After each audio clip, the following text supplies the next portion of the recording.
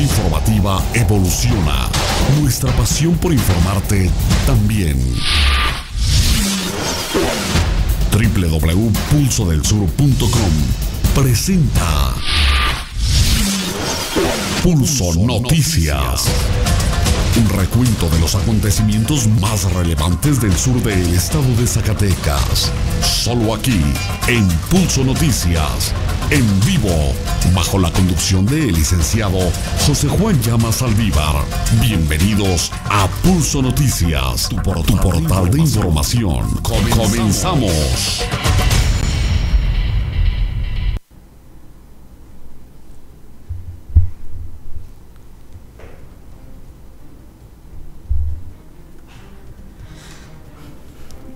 Muy bien, 6 de la tarde con 8 minutos, tiempo, señoras, eh, señores, en el centro de la República Mexicana. Me da mucho gusto saludarle, eh, me da mucho gusto encontrarme con usted, especialmente hoy que estamos iniciando semana, en este lunes ya, 27 de abril. ¿No, le cerramos la, puerta de mi chama? Eh, en este lunes 27 ya de abril, perdón usted.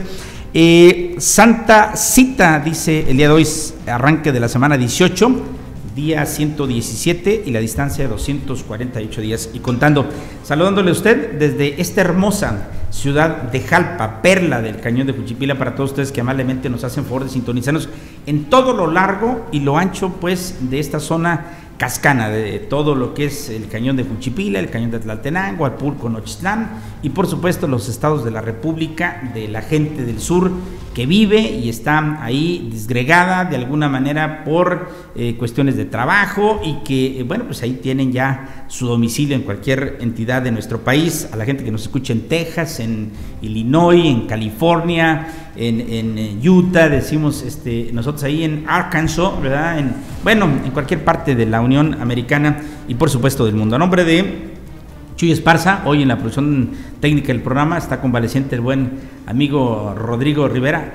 Influenza me dijo, fíjate que es una sintomatología, bueno, ojalá y no sea tan allá, pero bueno, sabemos que está recuperando y eso nos da muchísimo gusto. Desde acá, Rodri, le enviamos un saludo y ojalá y las cosas salgan muy bien. El que le habla a usted, el licenciado José Juan Llamas Saldívar, hoy un poco consternado, triste por la muerte de este eh, amigo, de este ingeniero, eh, conocido, bueno, por muchos y cada uno de nosotros, Samuel este, González Rentería, que mire usted, hoy vemos, mañana no sabemos, apenas el sábado lo había saludado yo este, al mediodía y bueno, resulta que ayer en un encuentro de béisbol en Rancho Nuevo, este, ahí en plena este, faena deportiva, por decirlo de alguna manera, pues se desvaneció, sus compañeros sacaron de onda, fueron por él, este, auxiliarlo, lo trajeron aquí a una clínica, hicieron lo posible por llevarlo a otro lado y lamentablemente pues eh,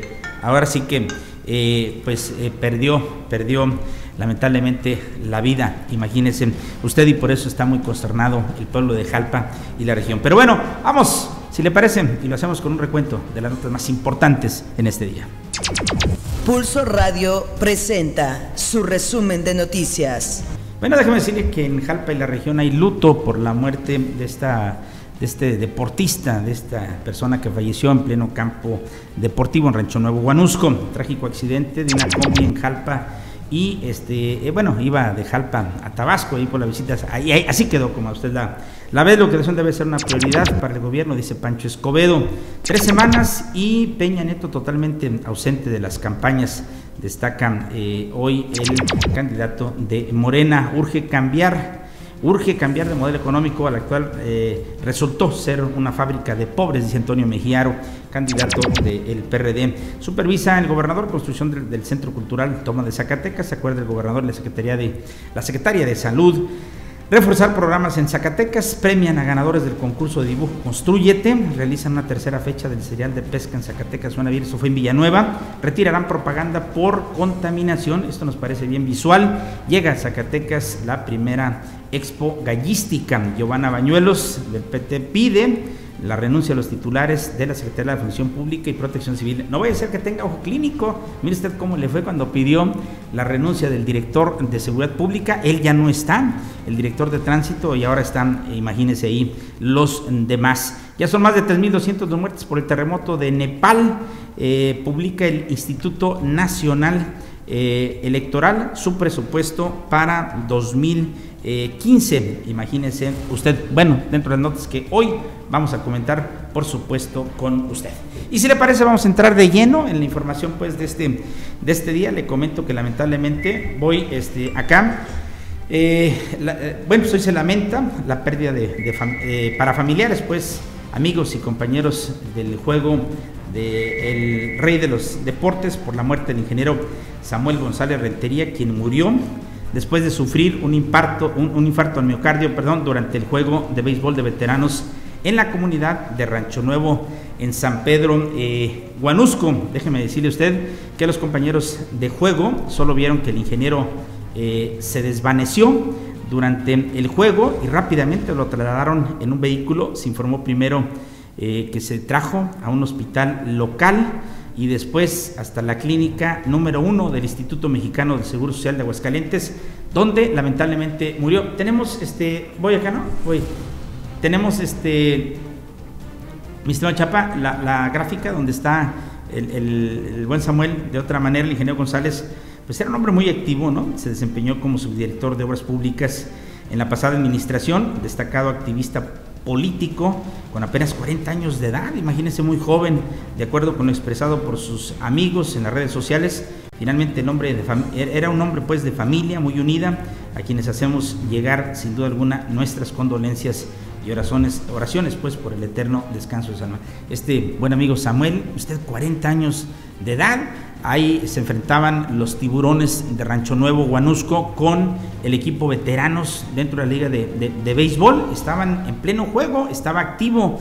Samuel de un de repente desvaneció, imagine usted, inmediatamente sus compañeros corrieron a auxiliarlo, pues a ver qué estaba pasando. Hay voces que vieron el partido que dicen que cuando él empezó con el picheo ya manifestaba cierta eh, dolencia. Bueno, todo esto transcurrió allá en, este, en esa comunidad de, Rancho Nuevo, San Pedro Guanusco, eh, donde le digo, pues la, gente está muy impactada por la, muerte de este, este joven, de este beisbolista, de alguna manera que lamentablemente se nos adelantó. Imagínense la, la familia cómo, cómo se encuentra ahí este, su esposa, su niña, este, lamentablemente, bueno, pues lamentando el deceso de este gran jalpense que hoy solamente se nos adelantó en el camino. Pero bueno, vamos a cambiar la temática rápidamente. Voy a ir a la línea telefónica.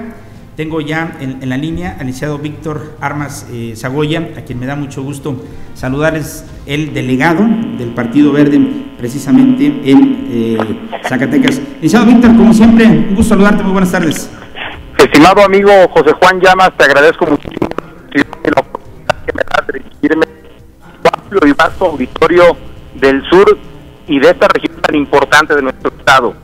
Y, del mundo, porque nos están escuchando en todos lados, licenciado Víctor, como es de la trascendencia y la importancia, pues saber cómo va el, Partido Verde, un partido no nuevo, pero me parece que sí, con un crecimiento diferente. No sé cuál sea la óptica del delegado nacional del Partido Verde aquí en Zacatecas.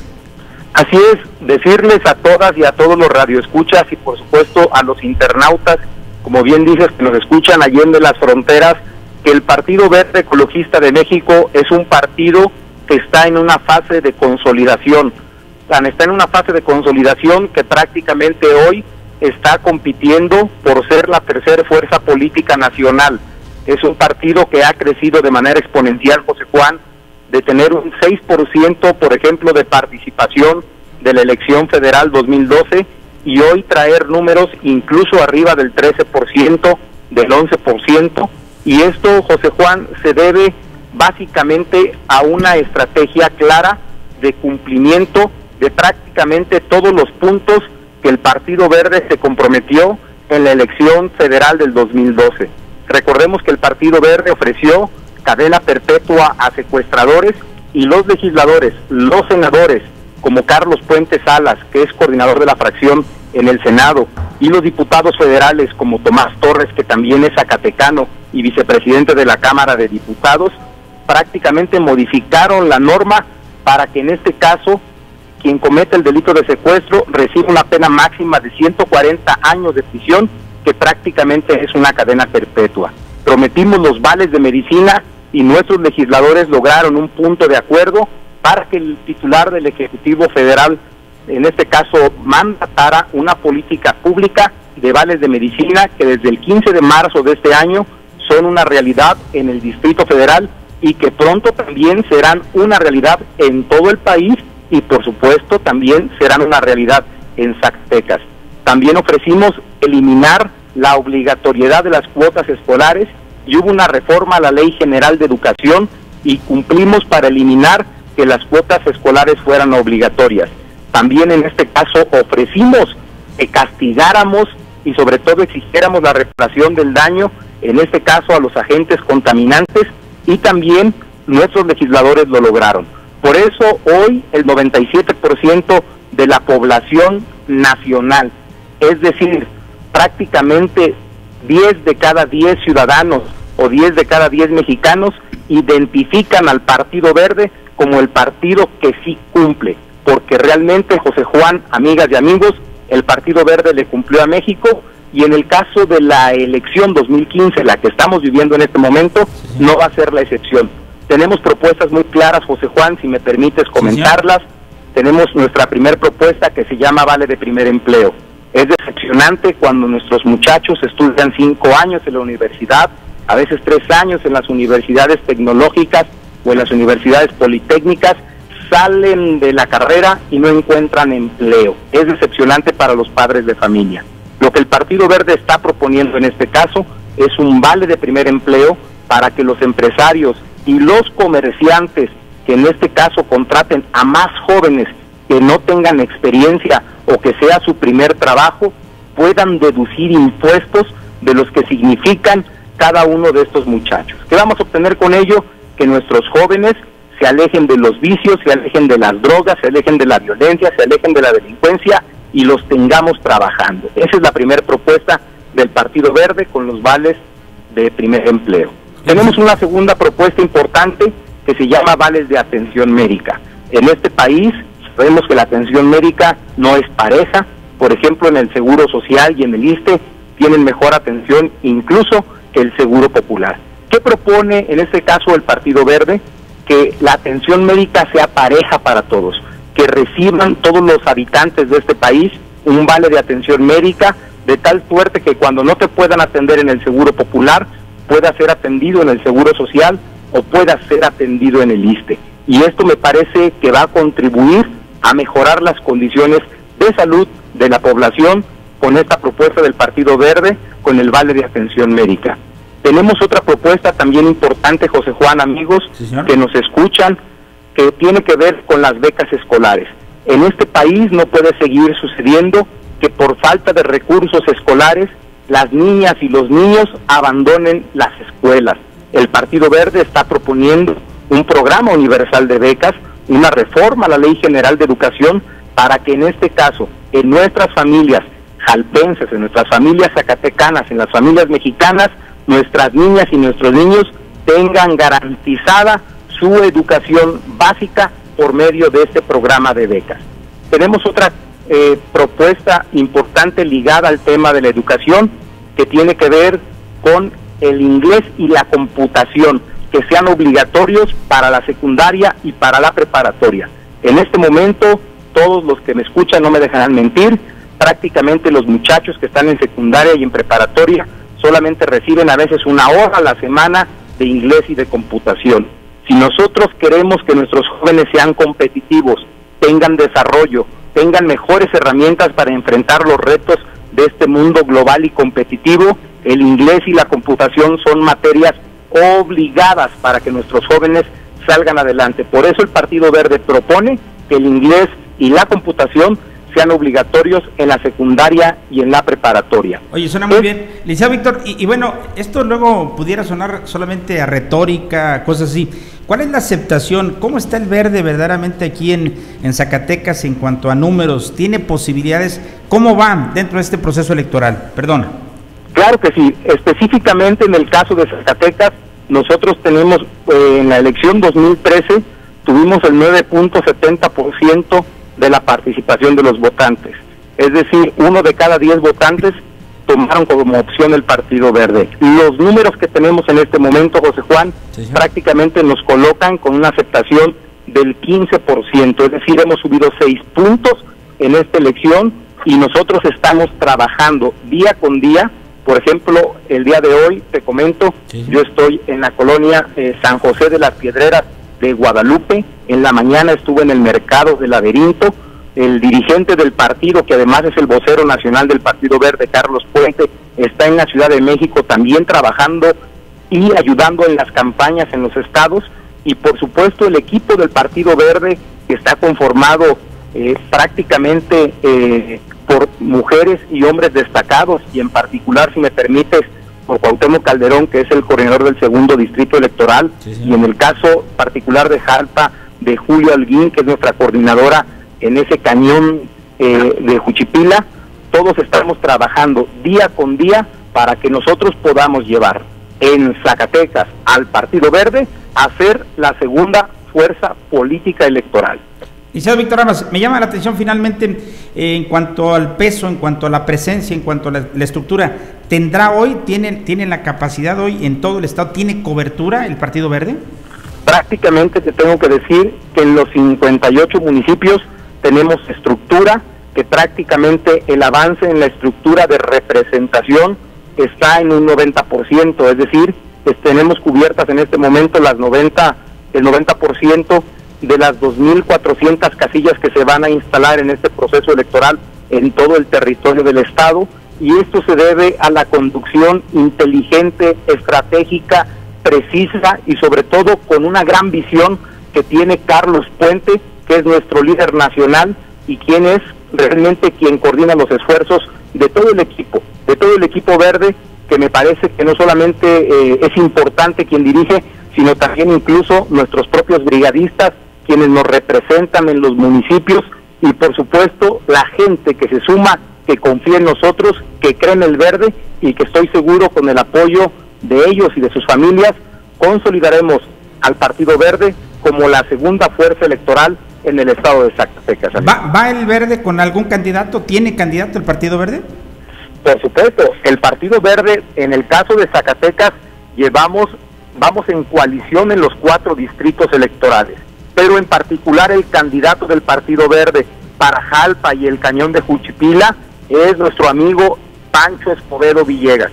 Él es nuestro candidato, el Partido Verde está trabajando día con día para contribuir en la suma de votos para que Pancho Escobedo, del cual no tengo duda, será el próximo diputado federal del segundo distrito y representará, me parece que con mucha dignidad, con profesionalismo, como siempre lo ha caracterizado en su actividad pública, al segundo distrito electoral que comprende también Jalpa. Pancho Escobedo es del verde y el verde le respaldará el 7 de junio con sus votos para que triunfe en la jornada electoral y que también hay que decirle eh, dé buenas cuentas a los jalpenses, que haga un trabajo destacado en la Cámara de Diputados, porque al final del día, José Juan, si me permites el comentario, a nosotros nos une un líder nacional, nos une un proyecto de país, que en este caso encabeza el señor presidente de la República, Enrique Peña Nieto, porque Enrique Peña Nieto también es verde y nosotros estamos trabajando de manera coordinada para que podamos triunfar en estas elecciones del 7 de junio, de junio, perdón, junto con nuestros aliados del Partido Revolucionario Institucional. Muy bien. Licenciado Víctor, aprecio mucho la llamada. Queda tus órdenes. Al contrario, te agradezco, te mando un fuerte abrazo con todo mi aprecio de siempre y un saludo sobre todo a quienes nos escuchan en prácticamente todo el sur del estado y por supuesto a quienes nos escuchan en la Unión Americana y que no se les olvide este 7 de junio votar por el Partido Verde porque el verde y cumple. Muchísimas gracias por la oportunidad. Buen día. Ahí tiene usted a Víctor Armas Zagoya delegado eh, nacional del Partido Verde, precisamente aquí en Zacatecas, y una importante entrevista sobre la presencia de este partido en eh, la propia capital, en el estado de Zacatecas, y bueno, estamos viendo su presencia a nivel, a nivel federal. Pero bueno, vamos a cambiar la temática, si le parece. Le comento a usted que un trágico accidente se dio aquí en Jalpa, donde participó, bueno, pues una combi primero se sale de la carretera, luego vuelca y queda en estas condiciones. ¿Qué hacemos la, la gráfica, mi estimado Jesús? Le comento que a las siete y media de la mañana este domingo se registró un accidente tipo salida de la carretera. Ahí participó un automotor de Servicio Público Federal de placas 8811ZFB cubría la ruta de Jalpa, Tabasco y hacía un tronque ahí en la villita, donde resultó gravemente lesionado su conductor, don Rafa, son los únicos datos que tenemos, como le llamaban los usuarios de esta ruta, se dirigía hacia el municipio de Jalpa, por fortuna sin pasajeros, y frente a la mezcalera, varios metros adelante del crucero, se salió de la carretera hacia la cuneta, eh, lo que le produjo la volcadura del vehículo, después de regresar a la carpeta asfáltica, dio varias volteretas, por unos 20 metros y bueno, déjeme, unos 30 metros aproximadamente. Al lugar también este, acudió, eh, déjeme decirle a, usted, la Policía Municipal, Protección Civil y eh, rescatistas de la Cruz Roja Mexicana, después de ser alertados por personas que pasaron por el lugar minutos después del accidente. El conductor quedó en el interior de la unidad, donde fue rescatado por cuerpos de emergencia del municipio en mal estado, hasta donde nosotros sabemos y trasladado al hospital para su atención médica. Así quedó, imagínese usted, qué bueno que no traía gente, imagínate, de haya traído gente lo que estuviéramos platicando lamentablemente ahorita. Pero bueno, vamos a la información Política le comento que en Jerez, al continuar su recorrido de campaña por ese municipio, uno de los pueblos mágicos del estado, Pancho Escobedo eh, Villegas, candidato a diputado federal por el segundo distrito electoral por el Partido Revolucionario Institucional, el PRI visitó y se reunió con diversos eh, sectores como profesores, delegados, este, ganaderos y habitantes del municipio de Jerez. En reunión con integrantes del magisterio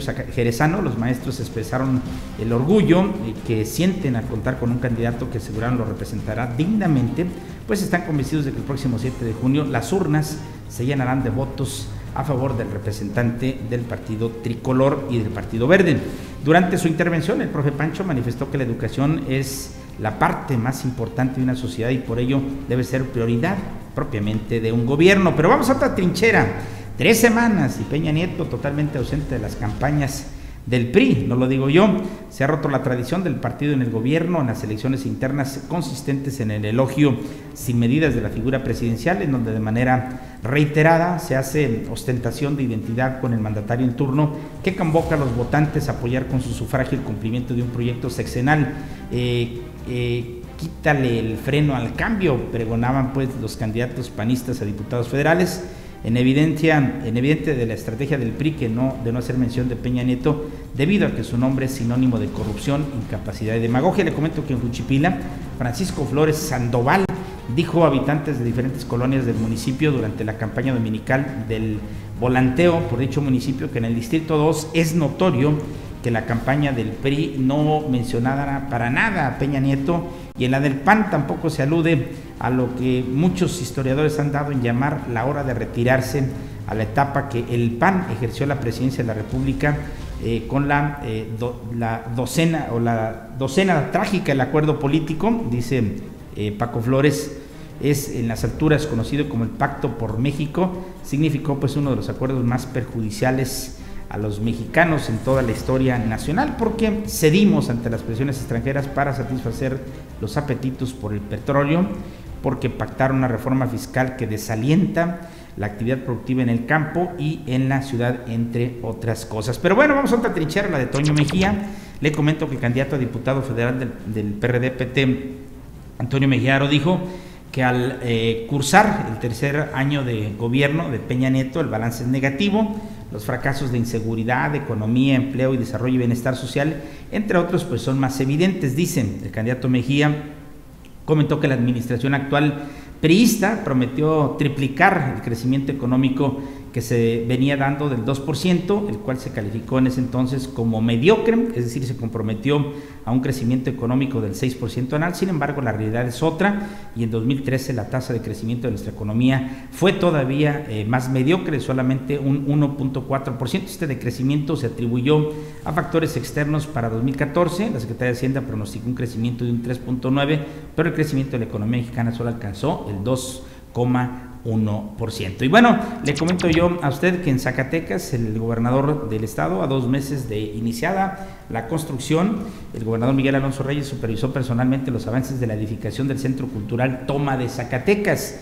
Durante el recorrido de supervisión, el personal encargado de la obra le informó de los avances en la preparación de eh, terraplenes para la edificación del centro cultural y del área de estacionamientos así como de las instalaciones complementarias de este proyecto. Eh, como se informó en su oportunidad, este centro será eh, el espacio cubierto y equipado más grande de Zacatecas, ya que contará con un aforo para 4.200 este, butacas para lo cual se espera pues se convierte en una referencia cultural no solo del estado, sino para toda la región. Y bueno, en el Distrito Federal, el gobernador una reunión de trabajo sostenida en el despacho de la Secretaría Federal de Salud, ahí la secretaria Mercedes eh, Juan López, el gobernador Miguel Alonso Reyes, eh, bueno, pues acordaron darle continuidad a los programas de este sector en Zacatecas. La titular de salud ofreció al gobernador Alonso Reyes el, respaldo total de la institución para que tengan continuidad todos los programas que actualmente están en marcha en materia de salud, sin concretar cifras ni tiempos. La, secretaria dijo que impulsará con mayor firmeza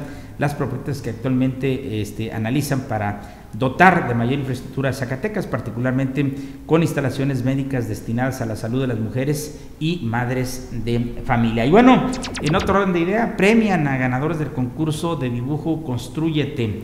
Le comento que en Zacatecas, autoridades de la Secretaría de Educación, la CEDUSAC, premiaron a los ganadores del primer concurso de dibujo Construyete promovido por el Programa de Naciones Unidas para el Desarrollo. Esta actividad artístico-cultural tiene como propósito generar espacios y condiciones para estimular y potencializar el desarrollo eh, creativo de las y los estudiantes de educación media superior. La temática fue el fortalecimiento de las eh, capacidades de la escuela para desarrollar habilidades socioemocionales de los estudiantes y mejorar el ambiente escolar. Le comento que el primer lugar fue para Alfredo eh, Hernández del CETIS 147 de Jalpa, el segundo fue para Onasis Arriaga del CETIS 20 de Río Grande y el tercero fue para Pablo Chávez del Centro de Bachillerato Tecnológico Agropecuario 138 de Villa Hidalgo. ¿Qué le parece usted? Primer lugar, una persona de Jalpa, Alfredo Hernández, fue precisamente su ganador. Enhorabuena por eso. Y bueno, déjeme comentarle usted que realizan la tercera fecha del serial de pesca Zacatecas Suena Bien. En Villanueva fue realizada la tercera fecha del serial de pesca Zacatecas Suena Bien en la presa Juliana Dame, donde participaron pues pescadores de eh, Aguascalientes, Guanajuato, Jalisco y también Zacatecas, autoridades de la Secretaría de Turismo, la SECTUR y de la Comisión Nacional de Acuacultura y Pesca, la CONAPESCA, Delegación Zacatecas, presentaron pues la tercera de ocho fechas del El Serial. Este segmento de actividades turístico-deportivas busca fomentar la convivencia familiar y el deporte, el beneficio económico para las comunidades y la descentralización del turismo hacia los municipios. Los próximos o las próximas fechas de este Serial de Pesca están programadas para eh, eh, efectuarse en los municipios de Tepetongo, Villanueva, Montescobedo, Jalpa y Zacatecas en el transcurso del presente año. Y bueno, van a retirar este, por contaminación visual alguna de la eh, propaganda. Debido a la, contaminación visual que generan a partir de esa semana se comenzará a retirar la publicidad con la que agencias de viaje, bueno, patitos y partidos políticos saturan las calles y colonias de la capital zacatecana, informó Jaime Cruz, jefe del Departamento de Limpia del Ayuntamiento de Zacatecas. Según Melina González del periódico Imagen, explica que en los postes, muros, bardas, teléfonos públicos y otros espacios, partidos políticos y agencias de viajes que no están bien establecidos, colocan de manera indiscriminada su, publicidad, en lo que crea una gran contaminación visual. Enhorabuena por eso, en el municipio el que manda es su gobierno. Y bueno, llegaron a Zacatecas la primera expo gallística, le comenta a usted que del 1 al 3 de mayo se desarrollará la primer expo gallística y derby conmemorativo Zacatecas que reunirán a creadores de todo el país para hacer de Zacatecas el centro de peleas de gallos del país. Imagine usted, con apoyo de la Secretaría de Turismo, de Zacatecas la Sectur se pretende desarrollar este evento en las instalaciones de la feria donde además del derby se ofrecerán conferencias y exposición de aves. Se espera la asistencia de por lo menos 2.000 personas y la participación de más de 40 creadores de gallos de pelea. ¿Qué le parece a usted? Y bueno, déjeme decirle que, bueno, observando la prensa, veía yo imagen, este periódico que usted lo puede encontrar a través de imagensac.com.mx en internet, decía que la comisionada política eh, nacional del Partido del Trabajo, Giovanna Bañuelos de la Torre, pidió la renuncia de la Secretaría de la Función Pública y de la Dirección de Protección Civil y Bomberos por supuestos actos de corrupción. La líder partidista dijo que pedirá a los diputados del PT que suban pronto o un punto de acuerdo para llamar a comparecer a Guillermo Huizar Carranza, titular de la Secretaría de la Función Pública, para que explique por qué encubrió la falsificación de documentos a través de, la, de los que la anterior eh, secretaria de Economía, Patricia Salinas, benefició el, al joyero y socio Daniel Espinosa con contratos millonarios. En el tema electoral, la comisionada dijo que ya han pedido a sus notarios certificar actos de corrupción en las campañas para que a la brevedad puedan presentar este eh, denuncias formales ante el órgano electoral. Y bueno, rápidamente le comento que ya son más de 3.200 los muertos por el terremoto de Nepal. Hoy también está consultando imagen, esta nota, esta fotografía la publican ellos ahí, donde dicen que en Katmandú, en Nepal, allá, imagine usted, cerquita de China, por decirle de alguna manera, pues la cifra de víctimas por el terremoto de Nepal subió ya a 3.218 el lunes dos días después del potente terremoto que arrasó este país de Himalaya, dejando a decenas de miles de residentes atemorizados y durmiendo propiamente en las calles. Finalmente le comento a usted que publica el INE el presupuesto para 2015. Escuche usted, el Instituto Nacional Electoral eh, publicó hoy en el Diario Oficial de la Federación el acuerdo por el que se aprueba su presupuesto para 2015 y por el que se establecen las obligaciones y medidas de racionalidad y disciplina presupuestaria. El documento aprobado por el Consejo General el 18 de diciembre indica que el presupuesto de línea asciende a 18 mil, escuche usted la, la cifra, 18 mil 572 millones 400. Fíjese nada más, no puedo ni leer la cantidad este, de dinero que van este, o que se destinan precisamente para sus gastos de operación y pero imagínese usted Hacienda más de 18 mil 500 millones de pesos de los que 13 mil 216 se destinaron a gastos de operación más o menos y 5 mil 355 millones para financiamiento para todos los partidos políticos, para que usted vea cómo y cuánto cuesta, imagínese usted, la política en nuestro este, país. Fíjese usted, nada más dentro de las cosas, este, pues yo no diría lamentables, ¿no? Pero lo que están ahí. ¿Tú crees que si el, el gobierno no le diera dinero a los partidos políticos, habría tantos como hoy? Imagínese, 10, válgame Dios. Bueno. Eh, leo a la prensa eh, hasta el momento, el Universal, este, en esta tarde de lunes, destaca hoy PRD, eh, dice que el del DF pedirá a la FEPADE investigar el caso Joaquín Malpa, interpondrá una demanda para que se investiguen los hechos en donde los candidatos del PRI Verde ofrecen a sus promotores automóviles, tú a cambio de votos luego de un audio publicado este lunes por parte del Universal. ¿Qué te parece? ¿Cómo te caerían si fueras este? Imagínate, es que no sabemos, ¿no? Pero imagínese usted un buen promotor, un buen cuate que traiga una buena faja de lana y luego llegue ahí, compran votos, aseguran, luego de repente en la política, ya sabe usted, se ven esa y otro tipo de cochinadas, si lo quiere ver ustedes de ese lado. Imagen del Estado dice hoy, en casi un año, en, Tamaulipas han caído 14 de los 15 más buscados. El secretario de Gobernación, Miguel Ángel Osorio Chong, destacó el aumento en el número de detenidos por hechos delictivos allá en Tamaulipas. Señoras, señores, así es como llegamos hoy a la parte final del programa. Me resta solamente agradecerle. Si no nos alcanzó a escuchar, no se preocupe. Vuelve usted a entrar a nuestro sitio de internet www.pulsodelsur.com y ahí podrá recrear de nueva cuenta, de nueva cuenta la información que usted este, está escuchando en este, en este momento. Como siempre, por su atención y compañía, muchísimas gracias. pulsodelsur.com presentó Pulso Noticias. Ya estás informado. Pulso Noticias. Síguenos. Nuestra misión es seguir siendo la mejor web de noticias de la región. Pulso Noticias. Gracias por tu visita a www.pulsodelsur.com.